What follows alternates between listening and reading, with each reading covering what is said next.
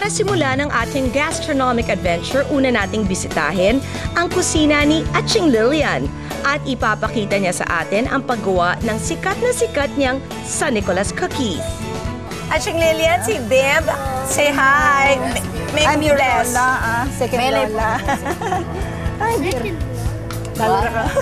Pagkaroon talaga Okay. Anong ano natin dito? Ano yung mga specialty mo, Aching Lilian? Ang nakikilala lang ako, Miss Chris, doon sa aking San Nicolas, no?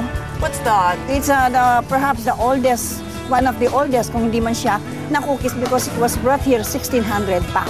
Wow! From? From Spain. Aching, what are we making? Ah, The San Nicolas? Yes. This Anong ingredients mo? Ang ingredients ko ay meron akong cornstarch ngayon kasi dati ano yan, araro flour, butter, and then meron tayong egg yolk, Tapos ito, milk? and then, no, this is coconut milk. Ah, coconut milk? Coconut milk ginagamit? Oo. Wow! So, pwede And then? Pwede po konti lang na egg yolk. Oo. Oo, kasi konti lang ito. And then meron tayong good oil. Dati yung pork lard. oil. Hindi. Lord, ang saya. Yung Lord. Ngayon, Ngayon, ano ginagamit mo? yun na lang kasi siyempre para maganda yun. Anong oil ginagamit mo? Ah, vegetable.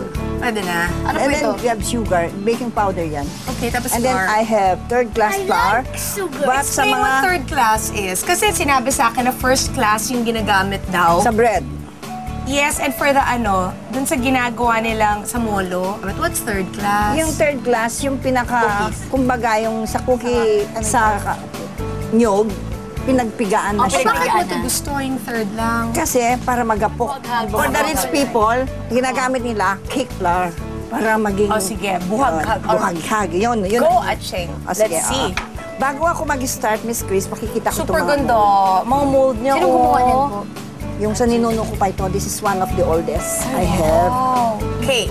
So now, anong process natin dito? Ang process natin dito is very simple lang. Lahat-lahat na ito, walang rule, just add it here. ah, talaga, hindi, hindi ito yung maarte na, Oh, hindi. na diba, cream the butter. Oh, na hindi. ginawa ng chef. Kaya ganun Hindi. ginawa dito sa studio. Correct, Hindi. remember nung yung, yung kay ano? Kay...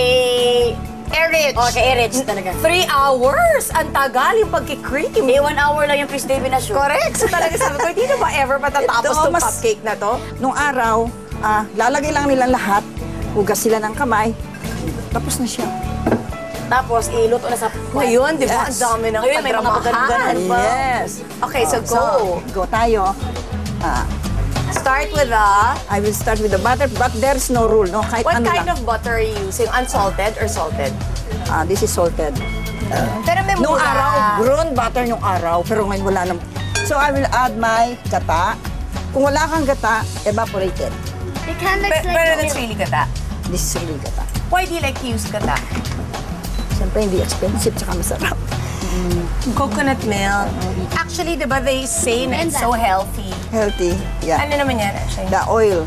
It's Oh. one half cup oil. Pero yung Pero kung gusto mong sinful, pwede talaga, di ba? pero yun yung gata, yung first, yung Imagine. first ganun. Yes, oo. Hindi, imagine kung ang ginamit mo talaga. na gusto ano, mo talaga yung lard, wow. Kung Ito na yung ating Flour. cornstarch. Tapos ang ating ah, cornstarch ay ganito karami. Ganyan din ang aking Flour. third class. Oo. Same The amount. third class. Gusto So mo ito, nga- least, wala pang fire. Yung wala dyan lang. Yan lang yung gagawin. Yes, ayan. Ganyan lang siya. Wala naman talaga fire habang nagko-combine ka ng ingredients. Mamaya pa. Pagtapos na nito, wala nang measurement. It's more of tansya-tansya method. Tatansyahin mo by means of tats. But you're also putting, di ba, ano, baking. Powder, one tablespoon baking powder. No, so ito na tayo. Hayaan lang yan. Magtatansya-tansya na tayo. It's just like playing clay in the kitchen. Siyempre, ang aking kiri-co-host na si Bimby, hindi nagpakabog. Gumawa rin siya ng sarili niyang cookie. Oh, you can make one, honey. Make a cookie for us. Ilalagyan ko rin ng same-same na naman. Konting oil. Oh, konting Oh, honey, oil. look. Ayan, ako lang baka ng isa. Oh, look. Lagay mo sa middle. Go, Bim. Press it. Tapos, And shape. shape mo sa rolling pin. Start in the middle. Pataas. Outward. Oo. Pataas, Pababa. pababa. Imagine niyo ang kitchen ng mga kapampangan, malaking malaki. Walang kuryente. Nothing to entertain them except yung mga dumadaan ng mga birds ganun. So to break the silence of the kitchen, one has to make like Para may sound. Kasi wala are eh. in the middle? Grabe talaga lang Me too, I don't know. There, there, that's the middle. Kasi walang radyo, walang ano. Yan. Ay. So, Ay, gano'n na ganun pala. Pagawin mo na siya. Go up first, right? At siya yung paakyat. Oo. Oh, wait, let's hold. Ah, Sige. I'll go. Ayan. Okay, with with With force, honey. Stronger. With your with your karate force. Yeah. Oo. Or else it's not gonna shape. With your karate force, ladies and gentlemen, Bimbi. Okay. There na, that's a cookie. Dito pa. Patayan mo. And then, Even it out, honey. Go. Go. Tapos, maglagay ka ng sound sa kitchen. Like. Tap it. Yan. Tap it. Oh, wait, let's put this back so we don't waste. O, tapos, Oh, there, honey, go. careful ka lang. Careful. Oh. Oh! Yay! Ang ganda. Yay, Bimbi! Kakat mo. Siya ngayon. Tapos ako akala ko yun na yun. Nilagay ko na doon at Ah, bahala sige, na. hindi. Kakat mo siya. O, ipopour mo yung parang leaf. O, alisin yan sa side. Careful ka lang. Akala ko ano na siya. Yan, yan.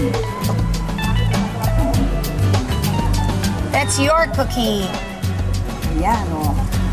Tapos, binibake yan For how long? for about 12 to 15 minutes, no? Okay. Sa 300 degrees Fahrenheit. Pero during those days, wala silang thermometer, Oo. wala silang timer. So what they did, yung bibingkahan oven, yan. Ito, ito, ito, ito, ito. Oo. May charcoal sa taas, charcoal sa baba. To test whether it's uh, yung temperature ang gusto mo, one has to put her hand inside to feel whether it's yung tama. And then, yung three, yung 12 minutes mo, they have to pray three Padre Nuestro, three Ave Maria, and three Gloria. So, ang San Nicolas natin, meron siyang labor of love, meron siyang sacrifice, They're gonna hear it. at meron siyang Faith. devotion.